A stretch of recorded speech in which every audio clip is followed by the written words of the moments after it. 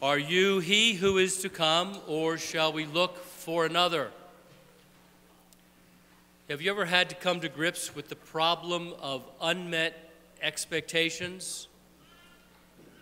Have you ever had expectations of someone, maybe a friend or a loved one, maybe a coworker or an employee or maybe even yourself, expectations that were ultimately dashed?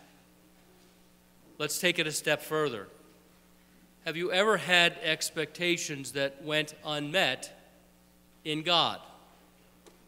That question gives us one of the keys to understanding today's gospel passage from Matthew chapter 11, verses 2 through 11.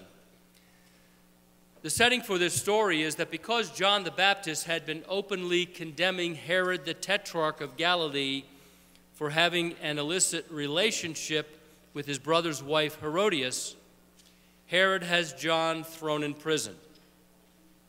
This was an imprisonment that would result three chapters later in the gospel in John's beheading by Herod, his martyrdom.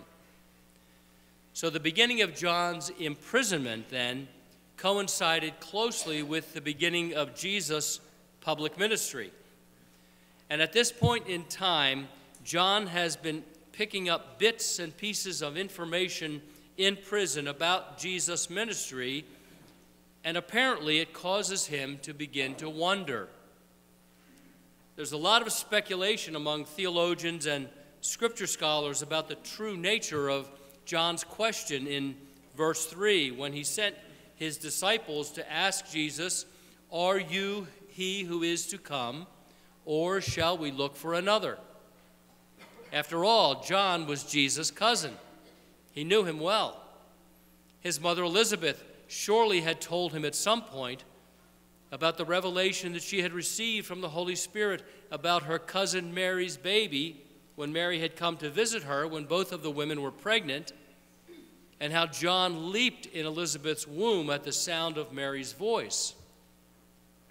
Beyond that, we know that John gave a clear acknowledgement of who Jesus was earlier when he said of him, Behold, the Lamb of God who takes away the sin of the world. John also testified that at the time that he baptized Jesus in the Jordan River, he saw the Holy Spirit descend upon him, and he heard the voice of the Father declare that Jesus was his Son. And John himself had declared that ultimately Jesus would be the one who would baptize people with the Holy Spirit. So, how in the world could he now be asking the question, are you he who is to come, or shall we look for another? In effect, the gist of the question was Did I mistakenly baptize the wrong one? Again, the key to understanding John's question has to do with expectations, as I said a moment ago. Because you see, John, like all of Israel in his day, in the first century, had a clear set of expectations about what the Messiah would be like and what he would do when he burst on the scene. He would, after all, be their king, their deliverer, the one who would judge all unrighteousness and who would set them free from the oppression of their enemies. Another Moses and Joshua and David all rolled into one. By the time he baptized his cousin Jesus, John already had a clearly defined preconceived notion about him and even said that Jesus should be baptizing him.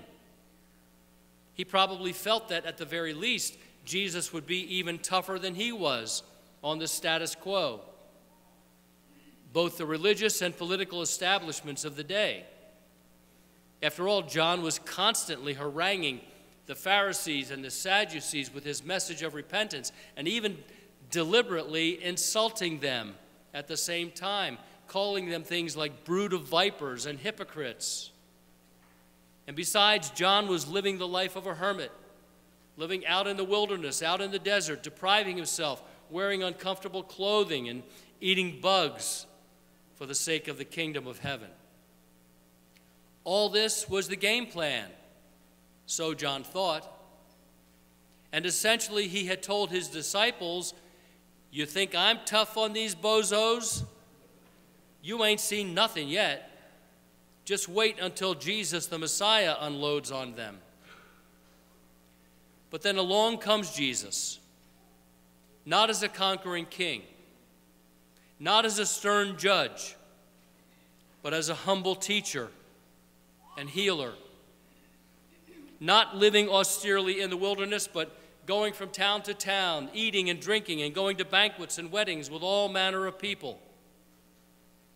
Not crushing the oppressors under his heel, but healing the oppressed, lovingly extending the grace and mercy of God to all who would receive it. He just didn't fit the mold that John and everyone else had in mind. He didn't meet his expectations. Could he possibly still be the Messiah? Could John have been mistaken? And so he sends his disciples to Jesus to ask the provocative question Are you he who is to come? Or shall we look for another? Has God ever failed to live up to your expectations? I'll wait. Most of us have had the experience in our lives at some point of facing a crisis, or at least facing a pressing need that we have prayed about. And after praying about it, have decided that God was going to resolve the crisis or fill the need in this or that particular way. You may have firmly believed it in your heart how God was going to resolve it.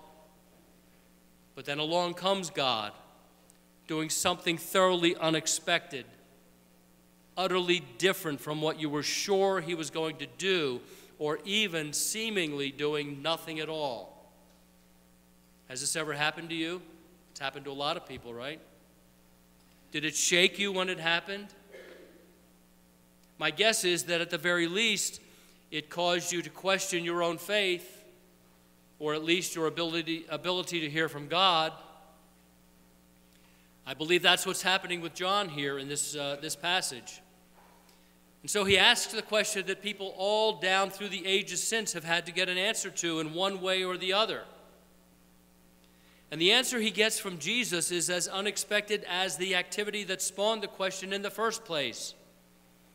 John was asking for a definitive answer from Jesus, a yes or no answer. But instead of answering the question, Jesus presents the evidence so that John can, in faith, decide for himself. Here's what we read in verses 4 through 6. And Jesus answered them Go and tell John what you hear and see. The blind receive their sight, and the lame walk. Lepers are cleansed, and the deaf hear, and the dead are raised up, and the poor have the good news preached to them. And blessed is he who takes no offense at me. These words are actually a nearly direct quote from the messianic prophecies of Isaiah in chapters 35 and 61 of Isaiah's prophecy. John would have recognized that. Jesus is saying this This is what Isaiah prophesied that the ministry of Messiah would look like, and this is what you have heard and seen in me. In other words, you've heard my message, you've seen my miracles, you decide if I am He. John, like each and every one of us, was challenged to accept the claims of faith of, of Christ by faith. Jesus concludes his response to John with the words, And blessed is he who takes no offense at me. The Greek word translated as offense in English here is one from which we get the English word scandal or scandalize. So he's really saying this Blessed is he who was not scandalized because of me. In at least one translation, it's rendered this way Blessed is he who does not fall away on account of me. In Luke 2:34, the old prophet, prophet Simeon had said of the then infant Jesus, Behold, this child is destined for the fall and rising of many in Israel, and for a sign which will be spoken against. In 1 Corinthians 1:23, St. Paul writes this, "We preach Christ crucified, to the Jews a stumbling block, and to the Greeks, foolishness. The point is that there was much in Jesus' words and in his actions, and ultimately in the way that he died, to offend certain people. And we see numerous instances of those people, particularly among the religious leaders, taking offense at him. Many people took offense at Jesus when he walked the earth. Many people take offense at Jesus today. But he says, Blessed is he who does not take offense at me. And so his message to John is in spite of the fact that I'm not the kind of Messiah you expected me to be, you will be blessed if you do not take offense in that. Now, at this point in the narrative, Jesus does something interesting. John's disciples leave to convey to him Jesus' response to the question. Jesus then turns to the crowd in order to commend John to them. Why did he do that? He did that for two reasons. First, to reaffirm to the people that in spite of the fact that John was in prison, in spite of the fact that he had asked this question, which seemed to be motivated out of doubt and dashed expectations, John was a mighty man of God.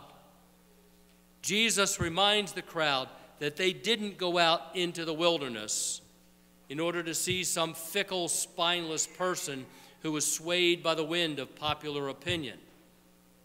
He, nor did he go out there to, nor did they go out there to see a royal official living in the lap of luxury. To the contrary, they had gone out to see in John a man called by God to deliver bold, forthright, and consistent message of repentance, regardless of the consequences to him personally. They had gone out to see a man who was so sold out to the truth and to that call of God on his life that he lived in the desert, wore camel's hair for clothing, and lived off of whatever crude food he could eke out of the desert land. Jesus said of him that he was a prophet, and in fact, more than a prophet. John was called of God to be the vital link, the bridge between the Old Covenant and the New Covenant. He was, in fact, the last prophet of the Old Testament and the herald of the New Testament. He was uniquely commissioned by God and invested with the spirit of Elijah to prepare the way for the Lamb of God and then point people directly to him. To enter the world stage at the most pivotal point in the history of mankind, to fulfill his mission and then to vacate the stage so that the one whom he heralded could fill it with his power and his presence. That's why Jesus then said this of him Why then did you go out? To see a prophet? Yes, I tell you, and more than a prophet. This is he of whom it is written Behold, I send my messenger before thy face, who shall prepare the way before thee. But I said there was a second reason why Jesus gave such a ringing commendation of John. The reason was so that he could then make an incredible comparison between John and those of the kingdom of heaven. Specifically, he says this in verse 11 Truly I say to you, among those born of women, there has risen no one greater than John the Baptist. Yet he who is least in the kingdom of heaven is greater than he. Did you hear that? Did you hear what he said? Jesus makes two astounding statements in verse 11. First, that among those born of women, there has not risen one greater than John. Not one, not Abraham, not Moses, not David. What Jesus was talking about here was not a moral superiority, nor a superiority of status on John's part, but he was referring to a man who had carried out a more important God given mission than all of those godly men who preceded him. His ministry actually ushered in a new era of grace through faith in the Lord Jesus Christ that those godly men of old who had gone before him could only talk about and long for. The second astounding statement is Yet he who is least in the kingdom of heaven is greater than he, greater than John. Whoa, wait a minute. Not that John himself would not eventually be in the kingdom of heaven. Unquestionably, he would have been among those saints who had died and to whom Jesus would shortly open the gates of heaven at the time of his own death and resurrection. John was probably one of the very first ones in.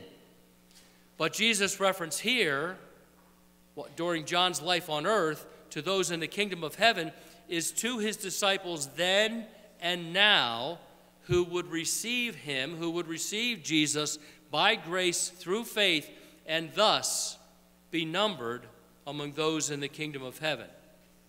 And when Jesus says that the least of those is even greater than John the Baptist, it is because we don't have to ask the perplexing question that John had asked Are you he who is to come, or shall we look for another?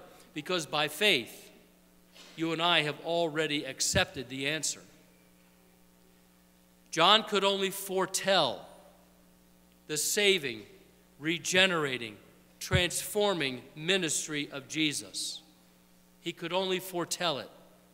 You and I have experienced it you and I have had it appropriated into our very lives by our baptism and by our walk of faith.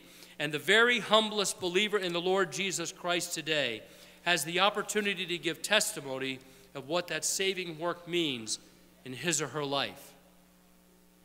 The lowliest believer today is the recipient of the lavish outpouring of God's grace in his or her life, while John the Baptist and those saints who went before him were at the time recipients only of the promise of that grace. That's why Jesus could say then, He who is least in the kingdom of heaven is greater than John. And so, brothers and sisters, in conclusion, I'm hoping this message will stir you.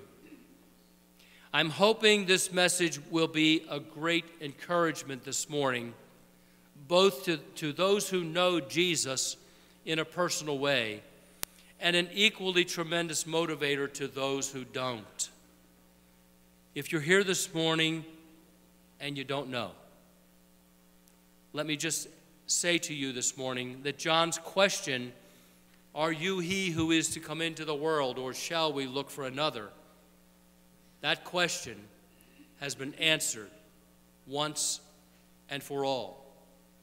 Jesus Christ is he who was to come. And he came to forgive your sins. He came to give you new life, to transform you forever. And he came to open the gates of heaven for you. He has come, and he will come again to judge the living and the dead. And so, my encouragement to you today is accept by faith the relationship, the friendship that He's offering to you, that He extends to you today, so that on that day, you will be numbered among those of whom Jesus said, He who is least in the kingdom of heaven is greater than John. In the name of the Father, and of the Son, and of the Holy Spirit.